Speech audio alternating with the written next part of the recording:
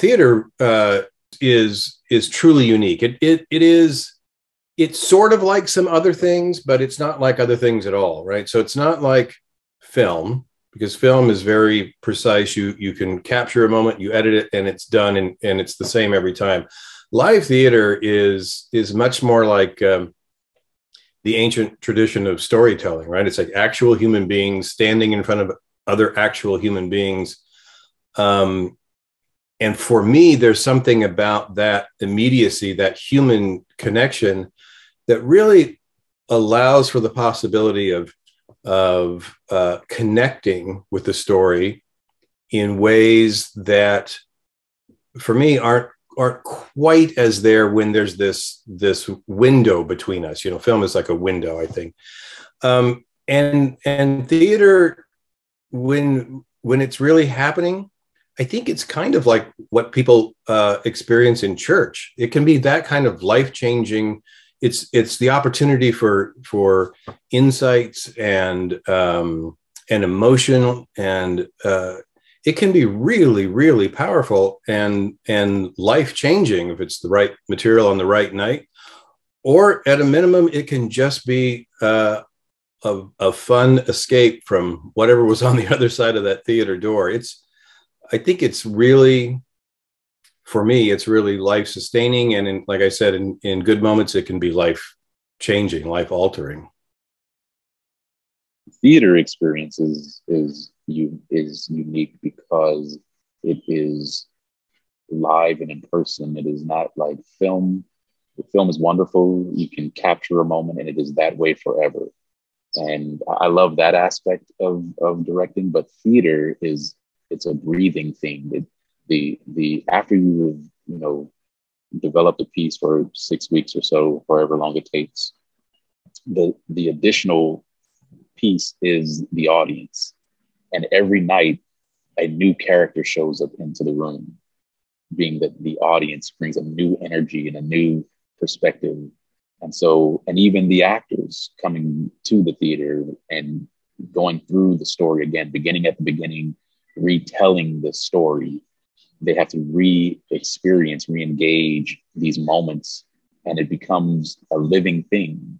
And and and it's one of those things that it become makes it um, special because we think of great concerts, we think of great theater experiences where people speak of like moments that they will never forget, and they will often say, "You had to be there."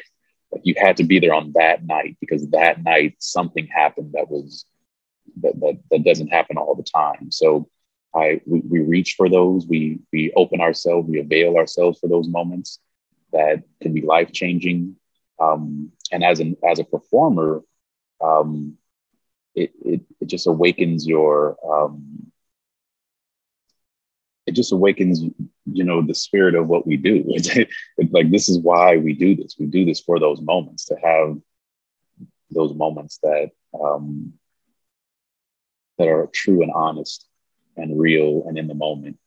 Um, and as a director, uh, you know, crafting those opportunities for that to happen, and then uh, being a, a, part of that um, when, when you when it does happen for an audience or for the actors, that's that's a, a gift for a, a, for a director, is especially in the theater.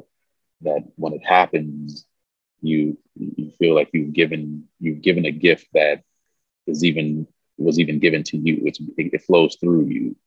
So I, I, I, can't get enough of it. I still get chills in the in the rehearsal rooms. I, I still I still love it. I love the process of it all. The theater experience is such a unique experience. Um, and I think it's because of the energetic exchange.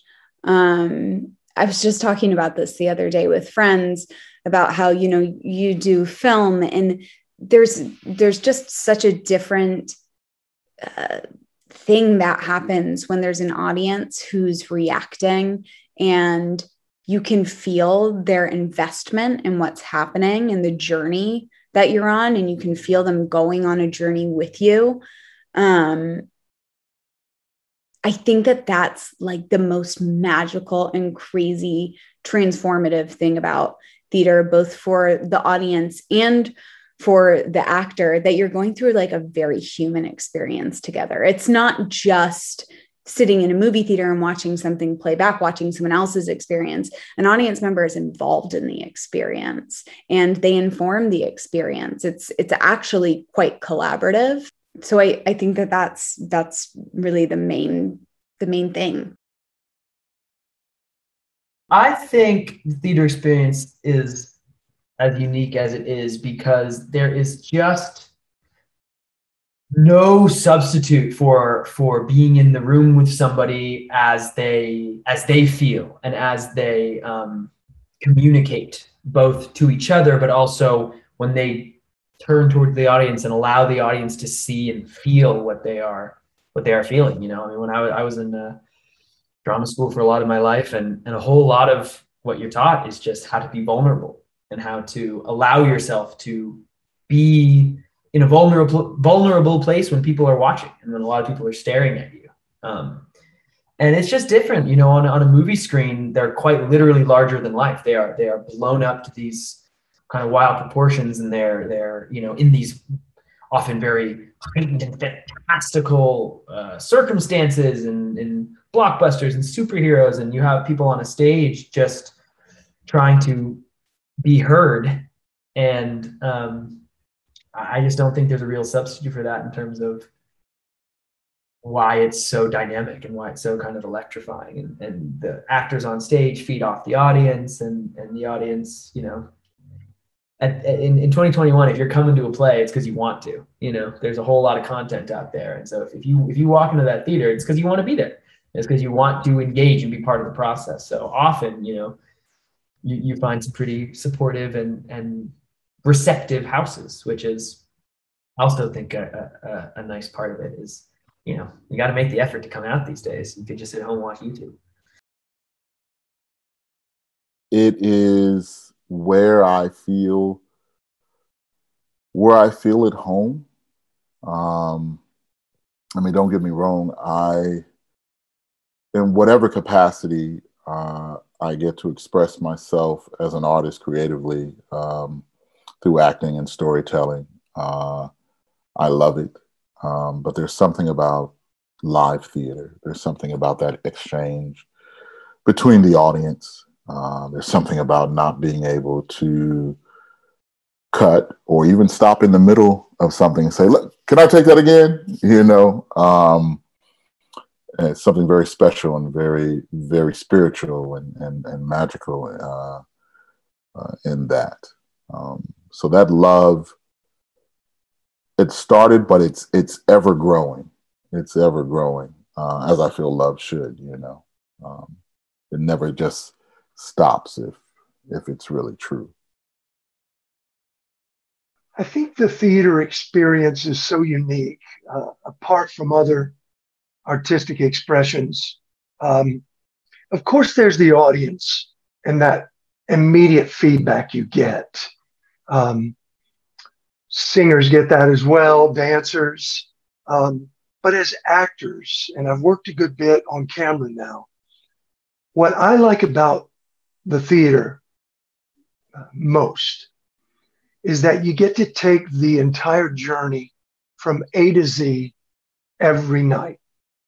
Um, you know, in film, you might start with scene 13, then go to scene two, and then scene 27 and and that is a skill and a and a thrill all its own.